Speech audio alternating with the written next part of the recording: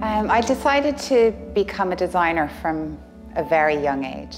Uh, we moved a lot and I was always moving the furniture around in my house and um, I always had to find new and creative ways to use the things I already had in a new bedroom.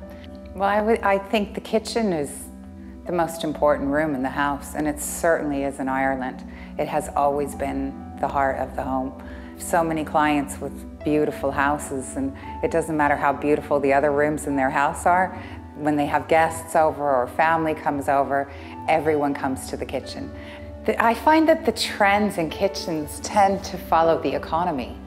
So, say 15 years ago, uh, the trend was for very modern, sleek, contemporary kitchens. And then as the economy declined, it went very much back to more traditional kitchens. I think in a, in a recession or anytime there's economic woes, when I'm putting together a scheme, I really like to have all the different samples together to see the project coming together before it goes up on into its place. So. When I'm designing kitchens for clients that have pets, dogs or cats, there's a few things I'm always looking at. Obviously the flooring has to be practical, that it's either easy to clean or it's hiding the dirt or in an ideal world that it's doing both.